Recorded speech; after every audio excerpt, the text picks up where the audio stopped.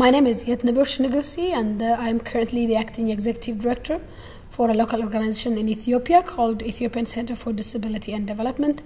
And our main work is to promote inclusive development so that we can end exclusion against persons with disabilities.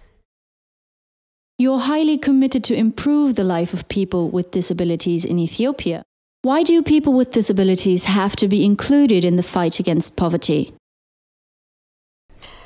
Well, the fight against poverty is a human issue. And if we have to fight poverty, we have to focus on empowering the poor. And the poorest of the poor are persons with disabilities. So um, I think in, in, the, in the process uh, of fighting against poverty, uh, including persons with disabilities will bring about the full picture of what we need to have a poverty free world.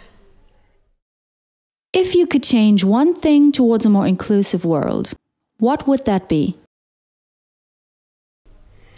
Ah.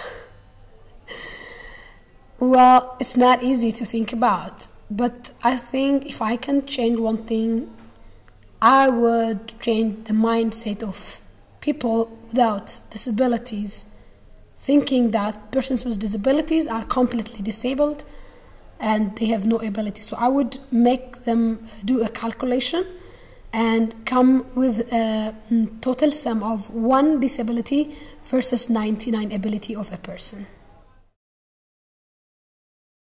Why are you supporting the End Exclusion Project? Well, I mean, exclusion do exist.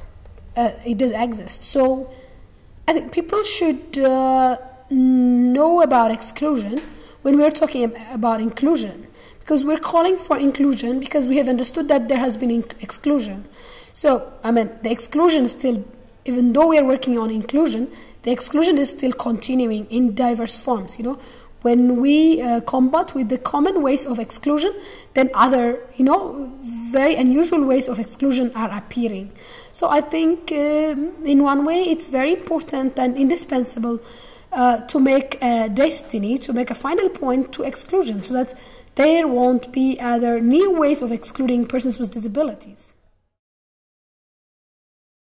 What do you want to say to viewers? I think anybody who's watching this video have a role to play in ending exclusion. It starts from me, from you, from them, from everybody. It doesn't need a group or uh, an organized party or a government to change the world. It was individuals who initiated change in life. And those changes were not easily accepted within our community. Every change was resisted. So make sure that you have a role to play in the change. That way, you will have the chance to be called a change agent. Like, for example, we're calling Mahatma Gandhi a change agent. We're calling Nelson Mandela a change agent. We're calling a number of other heroes in the world a change agent. What about calling yourself a change agent, at least by changing one thing for a person with disability in your family, in your community, in your country? Stand up for the rights of persons with disabilities in developing countries. Visit our website endexclusion.eu, like us on Facebook, or follow us on Twitter.